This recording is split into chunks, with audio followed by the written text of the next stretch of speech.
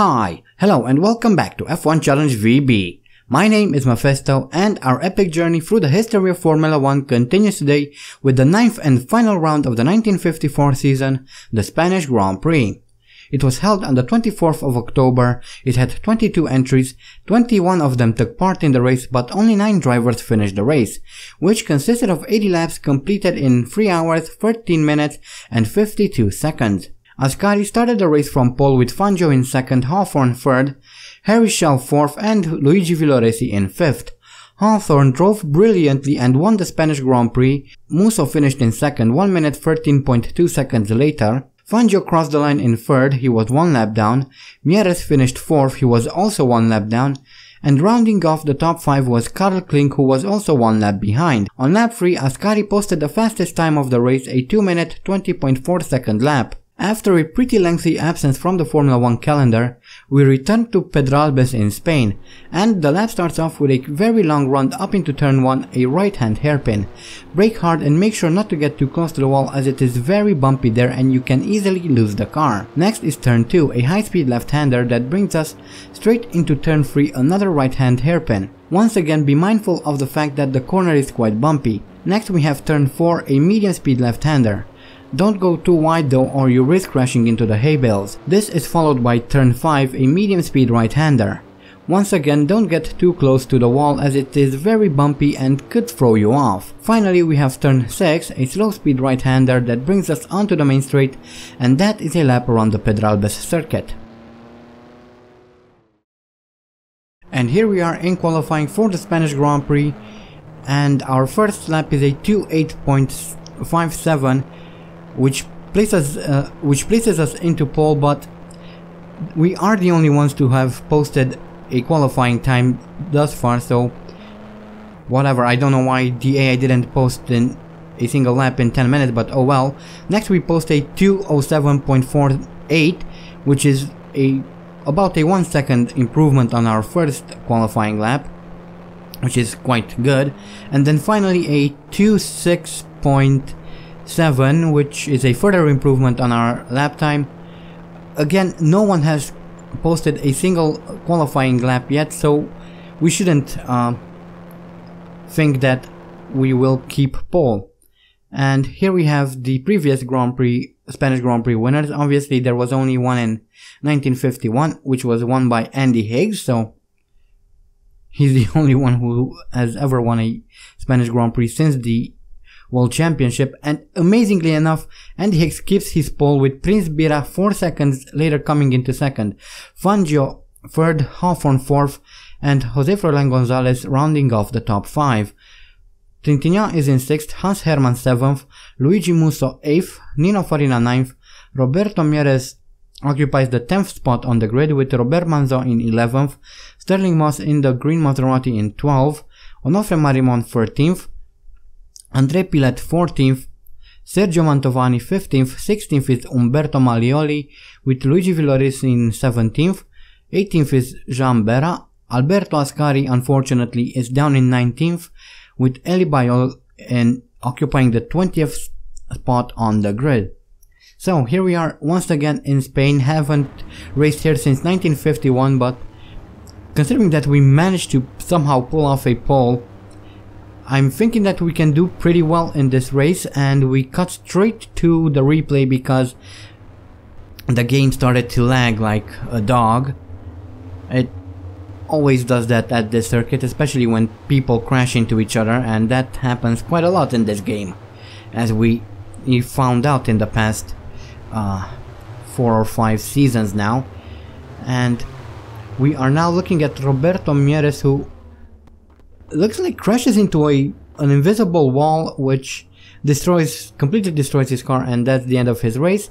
Next is Andre Pilette who loses his car as he comes over the the hill there and crashes into the hay bales, loses his front left wheel and that's the end of his race.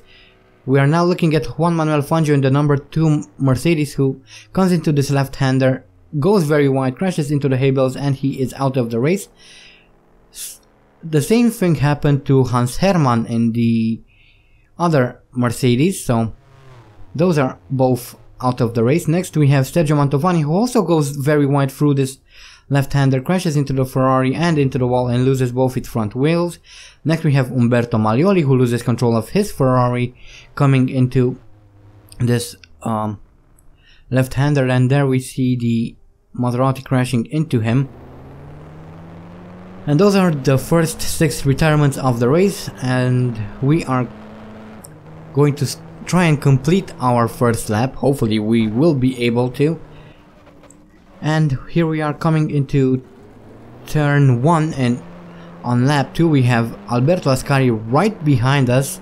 Hopefully we can keep him at bay as we now have a look at Nino Farina who loses control of his car through that uh, left-hander.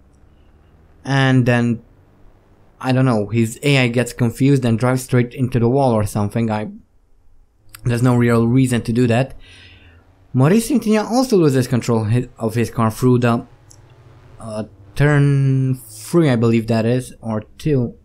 Actually it's turn, yeah it's turn 2, uh, and then he gets hit by someone and he is, Trintignant is out of the race.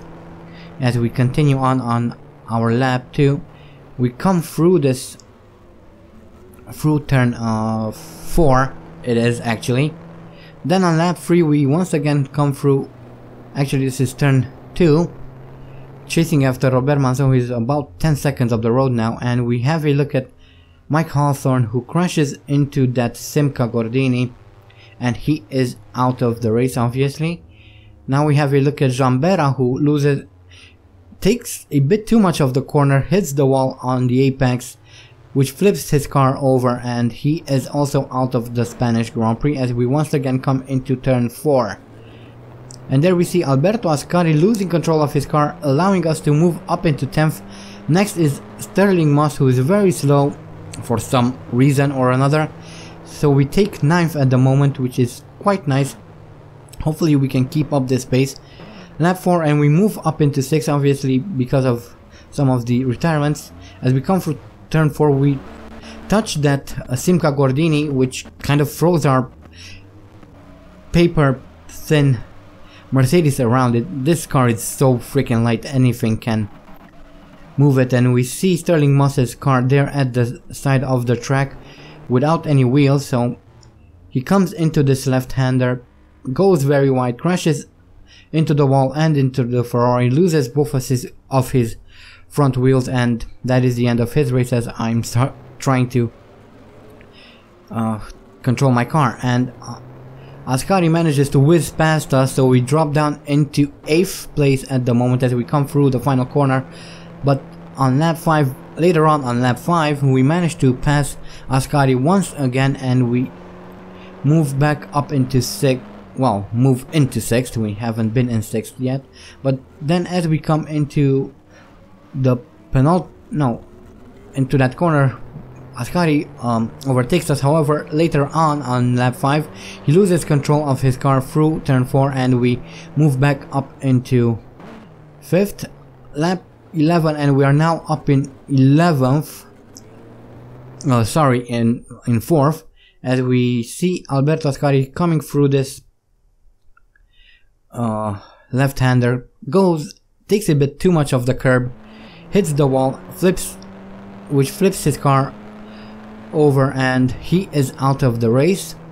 So no, he's no longer a threat to us. And we are now on lap 12 and we see Robert Manzon doing the exact same thing that the AI doesn't really like that corner does it? So many accidents ha happened in that corner. It's pretty much unbelievable really. But we are still in the race which is absolutely amazing we've been doing pretty well. We still have more than half a race left, so hopefully we can keep it together. And on lap 14, Luigi Musso is out of the race. Not sure what happened, but I'm guessing we will have a replay, and indeed we do. He comes into the pits, he ran out of fuel, and it looks like he just couldn't get to his pit box, although even he, if he would have gotten to his pit box, I doubt he would have gotten back into the race because we know that the pits are quite bugged in this race. Lap 19 and Élie Bayol is also out of the race.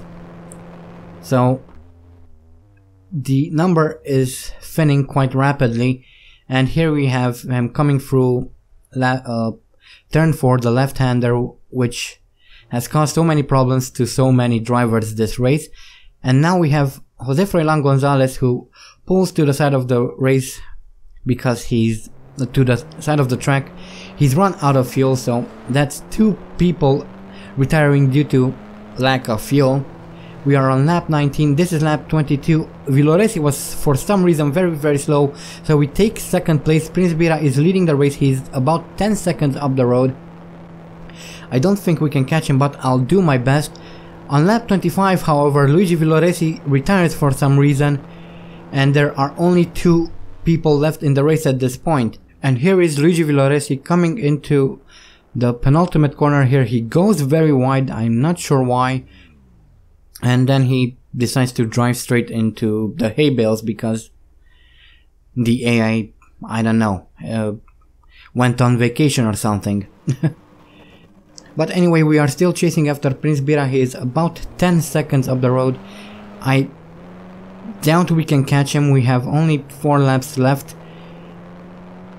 And later on, something happened to Prince Bira and he is out of the Spanish Grand Prix. So we are the only ones left in the race. And here we have Prince Bira who pulls to the side. He's run out of fuel. That's three people who've run out of fuel in this race. And that allows us to take the lead and we have three more laps to go. And that is absolutely, uh, I, I don't know. And here we are coming around on lap 28 to take the win of the Spanish Grand Prix. And this and here we have the race results. We have well, Andy, the only one who finished the race, and Ascari managed to post the fastest lap. So at least there's one other person who will get at least one point. But uh, well, quite an interesting result there. As we now take a look at the retirements there. I think this is our third race in which we are the only ones to finish. We had one at the Indianapolis 500, then a another one at one of the Dutch Grand Prix. So yeah. But at least we won the race, right? Although the victory is kind of bittersweet because well, it was pretty much handed to us. But I will take it since we haven't won a single race since the Italian Grand Prix in 1953 so that's pretty nice. That's a pretty good way to um, wrap up the season I guess. So uh, yeah.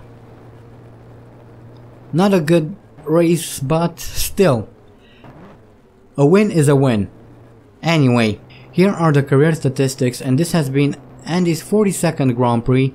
His best start is from first, has 3 pole positions, has posted 8 fastest laps. His best finish is first, has completed 26 races, 24 of those in the points, has won 14 races, 2 of which at the Indianapolis 500, has 3 championships under his belt, has scored a total of 157 points, has retired 16 times, has experienced 845 out of 1137 laps, has 5 bronze trophies, 2 silver trophies, 14 gold trophies and as an extension 14 podiums.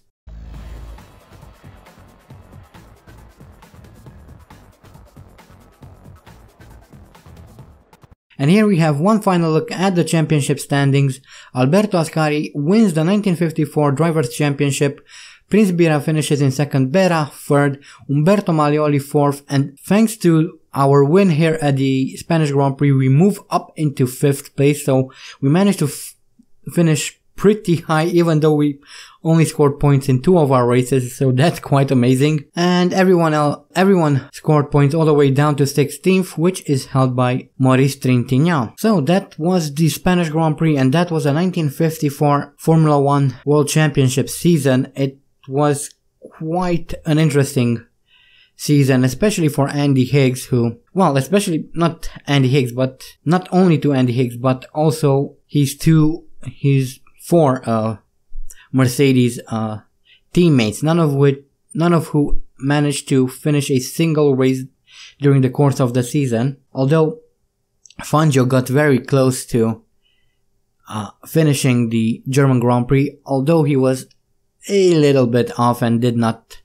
classify as a finisher. But yeah, that is it from this video, from this race, from this season. However, we the, we won't stop there. Our the story goes on and our next season is the controversial and disastrous 1955 season and we'll get to that why that is when we start off the season. So expect the the first video of the season to be quite lengthy because I want to talk about the 1955 season in more detail than normal because I need to make it justice somehow. So yeah, new season, new teams, new circuits, some that are reappearing, some that will be modified from how they looked in this season. But anyway, but anyway, as of this video going live, I will give you guys a few more hours to vote for next season's team if you haven't done so yet, so make sure to do it if you want to have a say in Andy Higgs' career. Uh, other than that, I also have a second channel. Link is in the description if you want to check that out as well. Other than that, I hope you guys enjoyed this video. Thank you all so much for watching, and as always,